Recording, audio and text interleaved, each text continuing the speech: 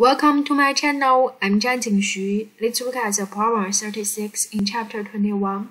Chapter 21 is about uh, electric charge and electric field So there you can see we have a two-point charge, Q1 and Q2.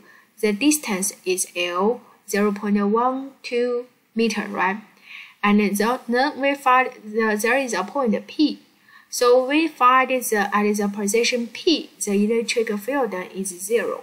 So now question ask you the distance between P and Q1. So we need to find the quantity X. Now we can see for this question, Q1 carry negative charge, Q2 carry positive charge.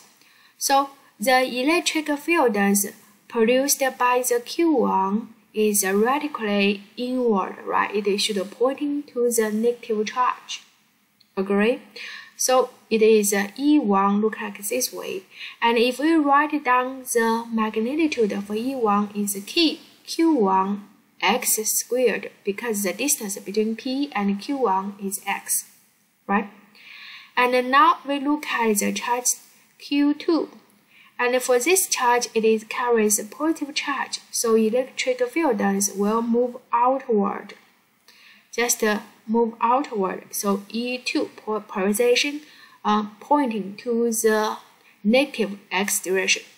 If we write down the magnitude for the E2, it should equal to K, Q2, and then the distance between P and Q2 is x plus L. Agree? Yes.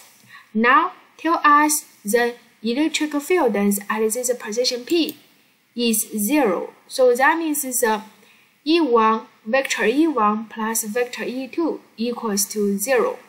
And we can see these two vectors are the opposite direction.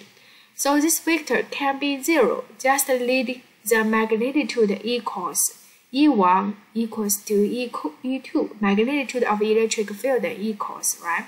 So we can write down the E1 magnitude equals to E2 magnitude and solve this equation. See, we get the function for x, and then input known quantities L, Q1, Q2, get answer there. Thank you.